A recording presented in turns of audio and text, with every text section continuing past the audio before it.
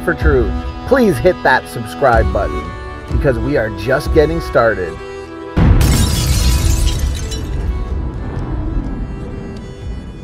I'm used to debating evolution, so it's good to change it up once in a while. So uh, let's get started then. Debate Did dinosaurs or could dinosaurs have lived with man?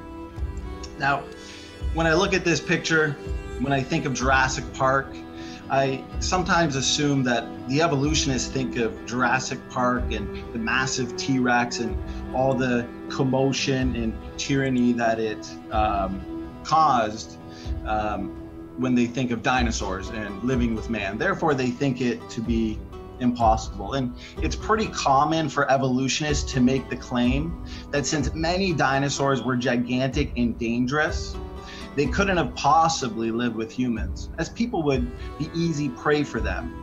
What the evolutionists don't acknowledge, however, is that according to their own timeline, humans have lived with plenty of large, dangerous animals over thousands of years, many of which are now extinct. Look at my slides here. We see the woolly mammoth and the American mastodon, with the same size as modern elephants, as well as this extinct relative of the Komodo dragon, which was likely encountered by the early settlers of Australia. Now, these, these types of animals would have proved to be a significant threat to people if anybody got close to them, and yet humans were still able to work around them, and in some cases hunt them. If you acknowledge that humans coexisted with these animals, it isn't that big of a step to suggest humans lived with dinosaurs, many of which were the same size or smaller than the animals listed in these slides. Here we can see the auroch, the short-faced bear, glyptodonts. Um, these, even according to the evolutionists, all lived with man. Evolutionists have hijacked dinosaurs and used them to teach millions of years of evolution. When you start with the Bible, dinosaurs start to make a lot of sense. You see the geologic column here. Can man and dinosaur coexist? Well, when we look to the Bible, dinosaurs and man, according to our model, did not live in the same habitat. Just like today, we see that different creatures and different animals live in different habitats. In the pre flood world, we see certain fossils that are usually buried together, and dinosaur fossils are usually buried with gymnosperms, pines, and naked seed plants, whereas mammal fossils are usually buried with things such as flowering plants. What does this actually indicate? This indicates two different ecosystems. For example, since we're talking about dinosaurs here, although lived at the same time of man, did not necessarily live in the same areas or habitats. They were overcome by the flood at different times during the advancing of the waters, which does explain why we don't find them buried together it is evident that as the floodwaters rose, they buried organisms in the order that they were encountered. The accepted major groups known in the fossil record are explained by their appearance according to where they lived and not when they lived. So we looked at burial by ecosystems and habitats. Now, we can actually look to geology, which does point to a watery cataclysm. Much geologic evidence suggests rapid plate tectonics. This isn't the topic of the debate, but when we look to the layering and we look to the dinosaurs and, and where they're found, we can also look to the flood to confirm that. Uh, so man and dinosaur could obviously coexist, but the question is, did they? We looked at dinosaurs in the Bible. Why don't we see the word dinosaur in the Bible? I hear this question from evolutionists all the time. Well, the word dinosaur is a modern word invented in 1841. The King James Version of the Bible, on the other hand, was translated in 1611. The word dinosaur did not exist at the time the King James Bible was translated, obviously. And so it's not surprising that we would not find the word dinosaur in the Bible. We also don't find the word computer in the Bible either. Dragons. We do find the word dragon in the Bible. These giant creatures known as dinosaurs were simply called dragons. Sightings of dragons slash dinosaurs have been documented and recorded throughout history. Eyewitnesses from all cultures around the earth, from England to China, have legends and stories about dragons. There are even more than 20 references to dinosaurs in the Bible. This whole controversy could easily have been avoided if they had just called dinosaur bones dragon bones. we see that the evidence that humans knew about dinosaurs before the science of paleontology was founded. So we see accurate artwork depicting dinosaurs and allegedly extinct creatures is observed, proving that ancient people saw living dinosaurs. The evolutionary community is baffled and surprised when plants and animals assumed to have gone extinct the same time as the dinosaurs are suddenly found to be alive. These are known as living fossils. The coelacanth comes to mind. Here's a picture of the coelacanth the evidence. Dinosaurs have been documented in history by eyewitnesses such as Marco Polo, Herodotus, and Alexander the Great. There exists today a multitude of cave drawings, mosaics, sculptures, and paintings of dinosaurs from ancient Egypt, Mesopotamia, Cambodia, Europe, Australia, all over the earth. Here's a picture here that was drawn, I believe, in Utah. This picture here, Bishop Bell's dinosaur. In the 15th century, we have Bishop Bell's tomb we know when he died, and so we know how old this is. And this is much, much before dinosaur fossils have really been found. Not until the 1800s were dinosaur fossils actually found involved. We find carved animals in this tomb, and some of these animals, as you've seen, look exactly like dinosaurs, sauropod dinosaurs to be exact. Many of the carved animals are animals alive today, plus dinosaurs. What more proof do you need? We know there are countless legends of lake monsters and thousands of testimonies. Was everybody lying?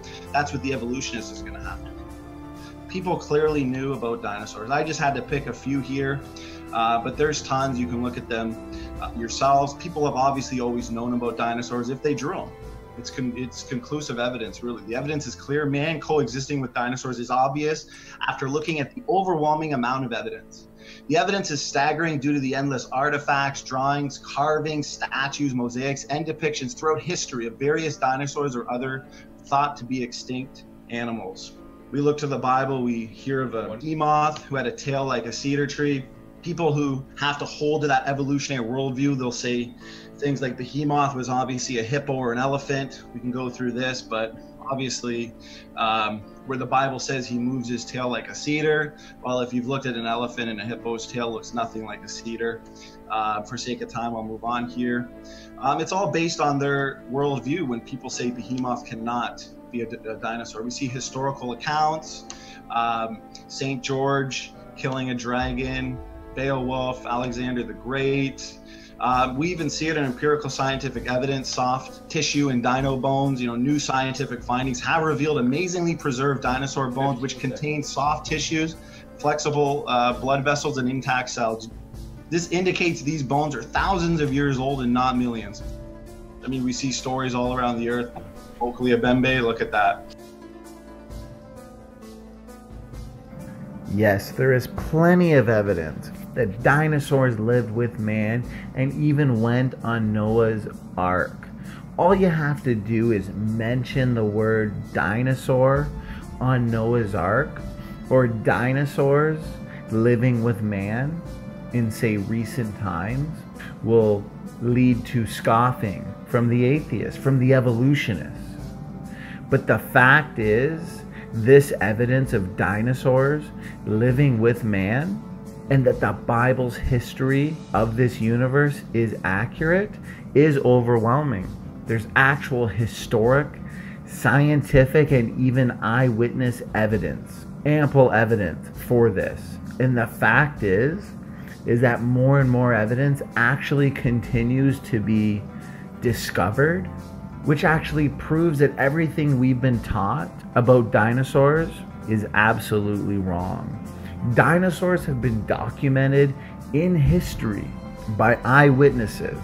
A few examples that come to mind are Alexander the Great, Marco Polo, Herodotus. You can look for yourself. There exists massive amounts of cave drawings, mosaics, paintings, scriptures, sculptures of dinosaurs from ancient Egypt, Cambodia, Europe, Australia, North America, pretty much all over the earth. And in the scripture, we see the description of dinosaur like animals Leviathan, Behemoth. The word dragon is used over and over again.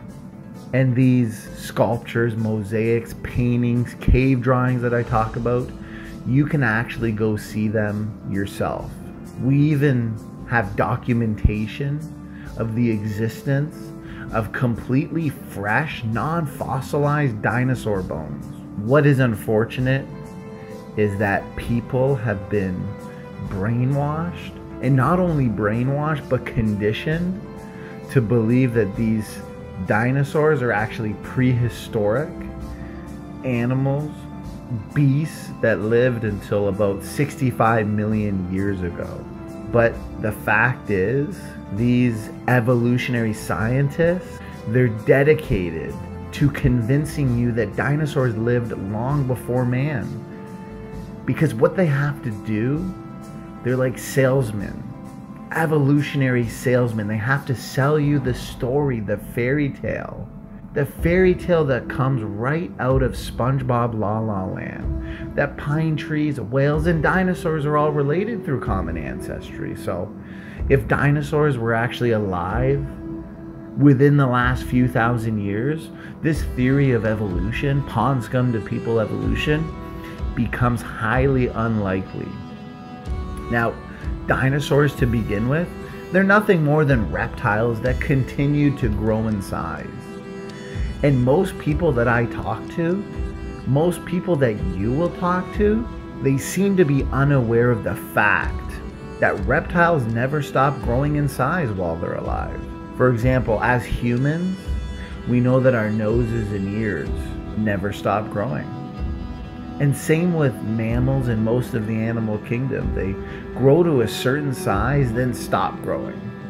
While they do get older, they don't get any bigger.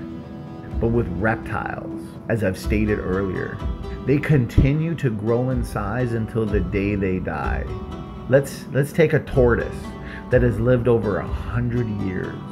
It's known and documented that they get to be the size of a bathtub. Imagine a tortoise that could live up to 500 years. They'd be the size of a garage.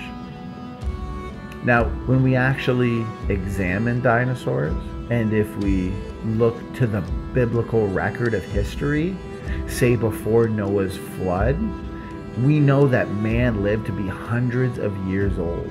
Methuselah, for example, lived to be 969 years old. And after the flood, when the lifespan of man was decreased based on the after effects of the flood, based on genetic entropy, the accumulation of low impact, deleterious mutations, the ages of man have dropped off. Take that back to a point of, say, least genetic entropy. Imagine if these animals had the ability to live that long as well. We know today that reptiles never stop growing in size throughout their entire lifetime. Therefore, picture a Komodo dragon, picture a gecko. What are they going to look like after 500 years? Can you say dinosaur? Now, to not get into too much detail about the biblical evidence, let's look at the evidence of dinosaurs living with man in recent history.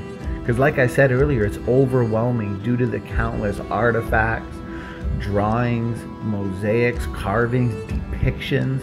You can see depictions of Brachiosaurus, plesiosaurs, pterodactyls, triceratops, T Rex, and many, many more. The question is for the evolutionists if man didn't live with these creatures, how did artists throughout ancient history and in cultures all over the world happen to draw these animals, to recreate these giant beasts? Was it just all coincidence that it turns out that they look nearly identical to what we see in the books about dinosaurs in museums today?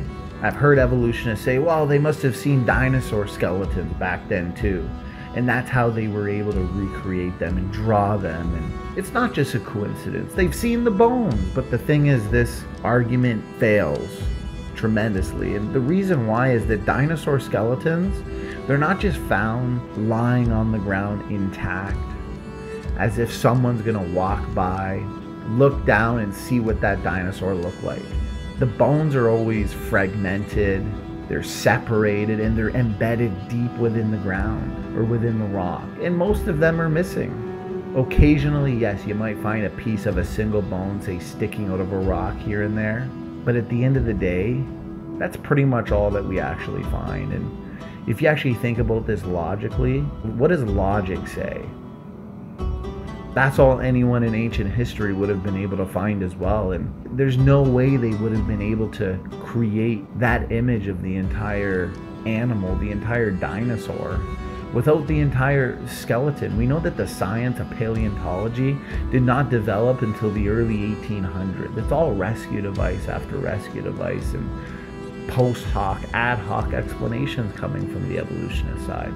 This process of digging out and excavating dinosaur bones from, say, rock didn't begin until then, and as a consequence, the first complete skeleton of a dinosaur was not constructed until the 1800s. The word dinosaur, which everybody knows means, you know, great or terrible lizard, it didn't exist before 1841. That's when it was coined. But that doesn't mean dinosaurs didn't exist.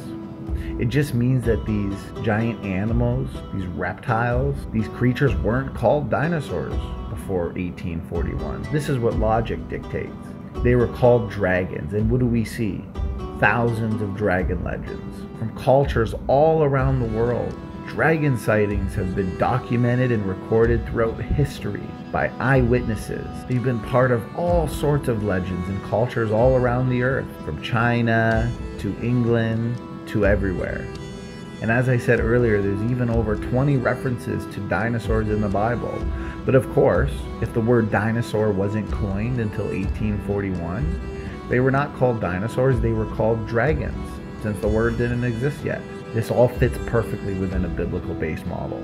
So how did these people two, three thousand years ago, how did they know almost exactly what dinosaurs look like? Listen guys, there's only two options. Either logically, they saw the dinosaurs with their own eyes, or they could have constructed the skeletons. There's not really a third logical option that won't sound ridiculous at the end of the day. So, if we actually look into these explanations and we look at, say, civilizations throughout history, to think that they actually knew exactly what dinosaurs looked like in detail by just seeing, you know, dinosaur skeletons at the end of the day, that's not logical. Because as I said earlier, the first skeleton was not even put together until the 1800s. And there's not as many dinosaur skeletons as you'd think. The fossil record, we can look to paleontologist Dr. Kurt Wise. He's got a PhD in geology from Harvard University. He'll tell you this is confirmed. This is fact that only 0.0025% of the entire fossil record consists of more than a single bone of vertebrate animals.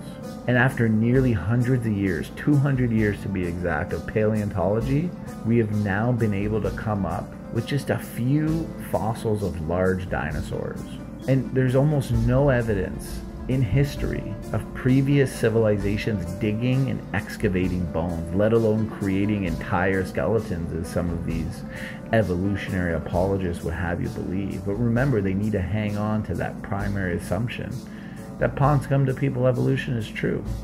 At best, if you want to give them something.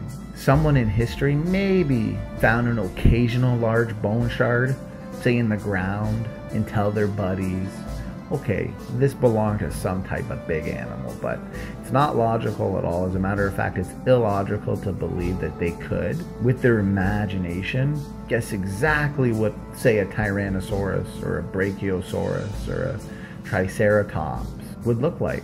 Or any other dinosaurs for that matter. I could go on and on and on. Plesiosaurs, for example.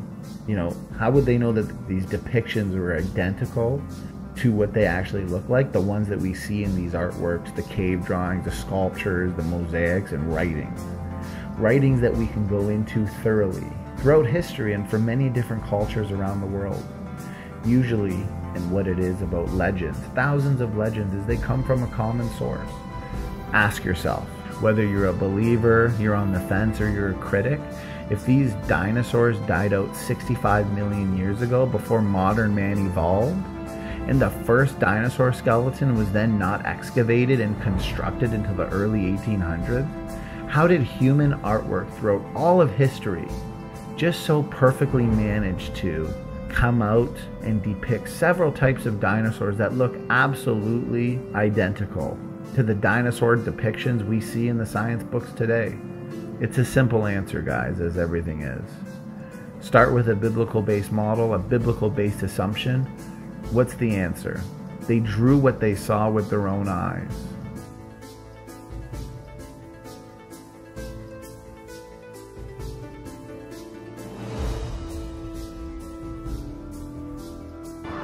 There is one creature remembered in the legends of almost every human culture that's ever existed. A creature depicted with remarkable similarity by the Chinese, the Aztecs, even the Inuit, who live in a frozen land where no reptiles are found. Even they have stories of this animal, the dragon. Cultures from different continents people who had no contact with one another, yet all of them have stories describing the same mythical animal. Could it be these stories were more than myth? What if we discovered that this creature that haunts our imagination had once been real? This is a 2,000 year old Roman built thermal baths that is right between Bacoli and Pozzuoli, west of the Bay of Naples in southern Italy. Um, I've been here multiple times, but I'm here for a very specific reason. But last time I was here before Christmas with a friend of mine, I thought I've seen pretty much so everything here, but we found this chamber that had quite a bit of the original stucco inside and there was something that was very interesting. I couldn't see because the light was so bad and I didn't have a flashlight. So today I'm back to photograph it. Basically, all of the stone that you see here, all of this would have been covered in plaster. All of these bricks, all would have been covered in plaster. Just like this right here. It would have all been covered in mosaics and all kinds of artwork. What we found was some original plaster, like plaster of Paris sculpture work that had de- depicted what looked like a man riding a dragon or a dinosaur or something. It was in an odd location on the ceiling. Um, and I'm going to go back and photograph it right now. I brought a bunch of cameras and lights and tripods, and we're going to go see if we can actually get some pictures of what that was. I swear, it, it, when I first saw it, it looked like it was a man riding a T Rex. So let's go take a look. Well, I've had to walk around most of the site, but I managed to find the location of this room. And there's some good light in here. Certainly more than the last time I was here. And we're going to take some pictures. Here, here we go. All right, so you can see some of the roof here. And the item I'm interested in is over, over on this side. Jesus, dude. That does look like a guy riding a dragon. Or a T-Rex or something.